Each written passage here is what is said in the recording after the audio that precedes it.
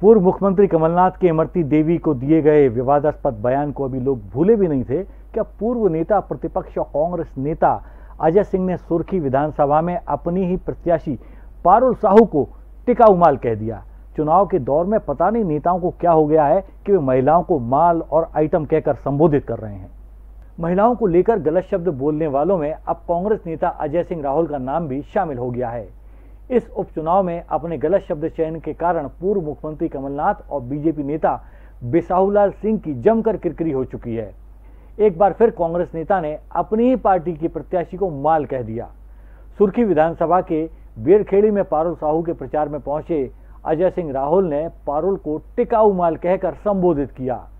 कांग्रेस के नेताओं में अमर्यादित शब्द का यूँ कहें कि छिछोरों वाली भाषा का इस्तेमाल करने की होड़ सी मची हुई है। एक समय कांग्रेस नेता मीनाक्षी नटराजन को पूर्व मुख्यमंत्री दिग्विजय सिंह ने टंच माल कहा था, जिस पर जमकर बवाल हुआ था। हाल ही में मुख्यमंत्री कमलनाथ ने इमरती देवी को आइटम कहा और अब इसी परंपरा को आगे बढ़ाते हुए अजय सिंह ने पारू साहू को टिकाऊ माल की संज्ञा दी। अब सवाल यह है कि क्या इस भाषा और ऐसी अमर्यादित शब्दों के सहारे कांग्रेस उपचुनाव जीत पाएगी? कोई इसका जवाब दे या न दे, लेकिन जनता इसका हिसाब ज़रूर चुकता करेगी। हाथ उठा के बताओ भाई। लो पर।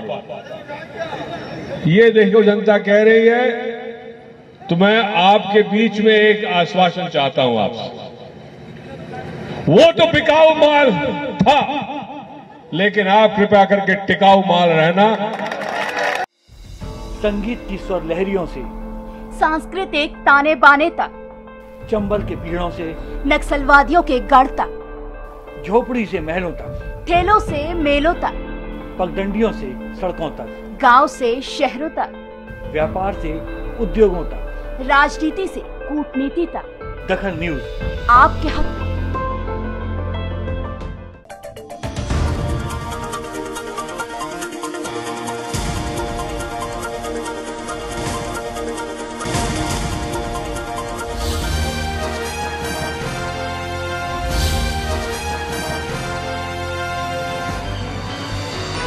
आप देख रहे हैं दखल न्यूज़।